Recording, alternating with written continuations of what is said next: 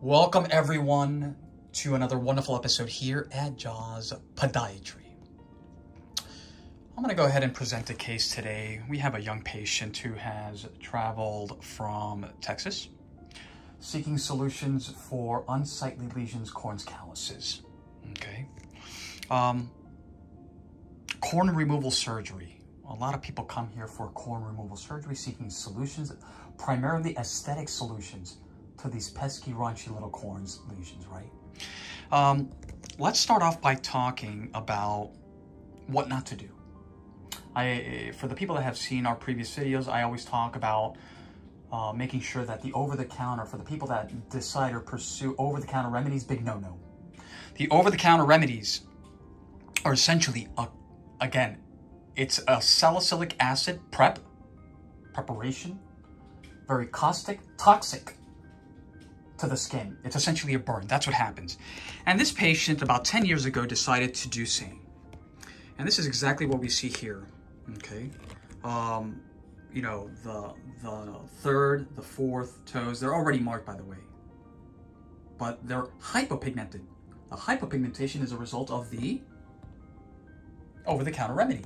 So for all the people out there, you know, choosing to possibly use these remedies, beware disclaimer, right? Be very, very careful. Now, um, also a lot of people that come here, they're, they're sort of not happy with the hyperpigmentation, in this case, the big toe, okay? You know, right around there.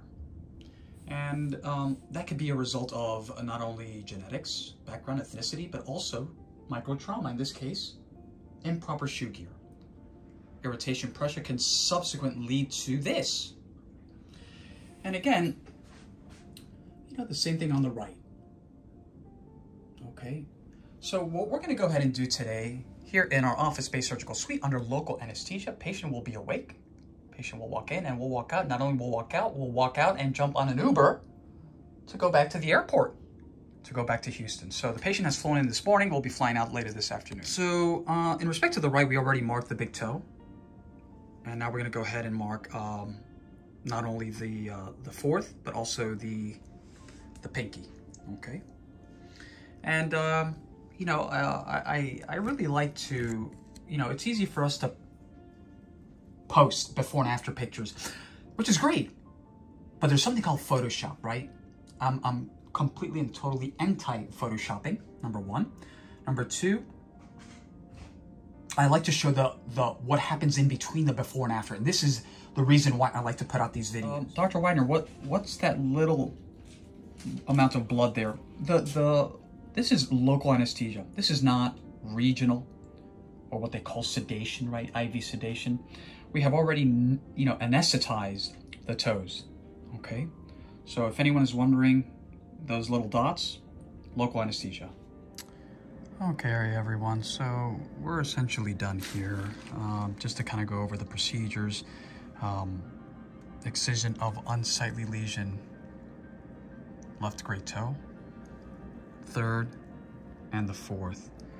And again, what we essentially what we essentially do for these procedures under local anesthesia here in our office-based surgical suite, um, we excise them.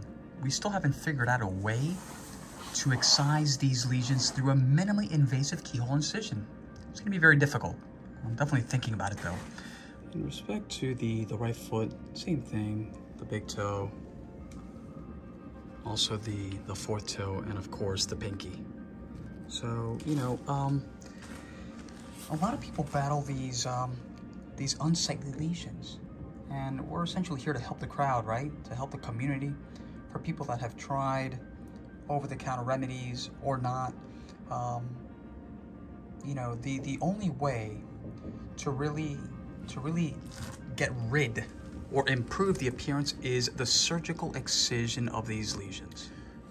Sure, conservatively speaking, you know, um, we make those recommendations to patients.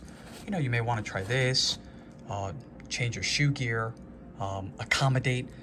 But historically speaking, when patients arrive here, they have already tried all of the above. Specifically the over-the-counter remedies, which simply makes everything catastrophically worse. And that's essentially, you know, what we're here to provide. For the people that have gone through A, B, C, D, E, F, G, and they have found no relief, the next step would be surgical excision. So again, I will continue to put out these videos. Um, you know, at the core, Jaws Podiatry, what we do is education. We're here to educate the world that these clinical presentations do exist. Of course, subsequent treatments. And again, you know, um, at 12 days, um, all of these uh, 12 to you know 14 days, all those suture stitches will be removed. Patient will go back to uh, Houston tonight. Flew in this morning.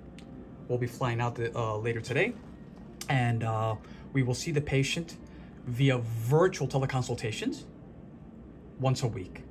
If you guys have any questions uh, pertaining to this video, please ask away. As always, thank you for watching.